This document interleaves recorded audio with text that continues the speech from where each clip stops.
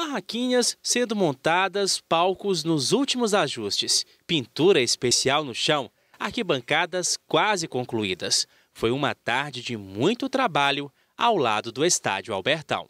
Estrutura necessária para atender a 41ª edição do Encontro Nacional de Foguedos, que inicia nesta quinta-feira e segue até domingo, dia 27 de agosto.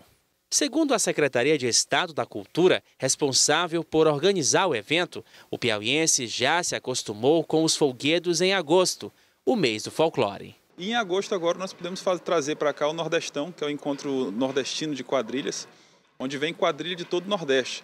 E junto com essas quadrilhas já vem um público fixo de, de talvez mil pessoas que, que já vem junto, vem, fretam ônibus que vem torcer pelas quadrilhas.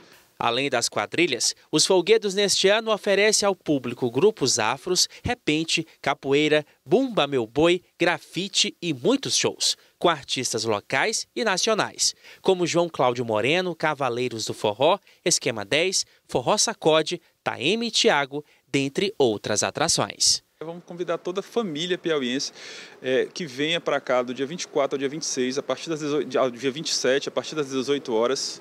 É, vai ter uma, é, um, é um espaço amplo, você pode vir para cá, que nosso folclore também faz parte da nossa culinária, nós vamos estar com a culinária, com barracas, com shows. O Encontro Nacional de Folguedos também movimenta a economia.